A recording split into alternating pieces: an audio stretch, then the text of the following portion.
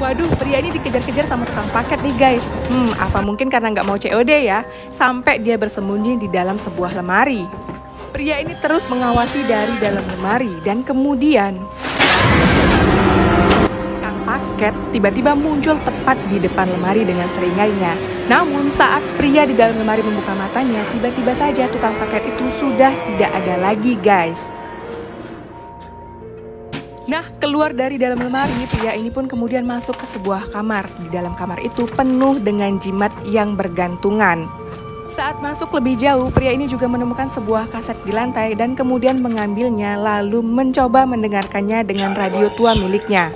Dan dari sanalah dia mengetahui bahwa ternyata sang pengurus apartemen yang dia temui di awal cerita ternyata adalah hantu guys. Wah serem banget ya.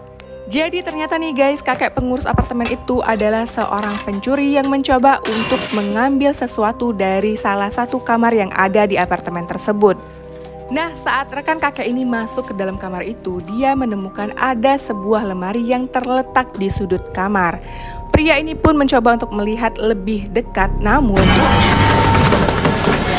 sementara si kakek malah menemukan sebuah mayat yang terbaring di kamar lainnya. Nah, kakek itu pun mencoba untuk mengambil sesuatu dari dalam mulut mayat ini. Nah, kira-kira apa ya guys? Lanjut di part berikutnya ya.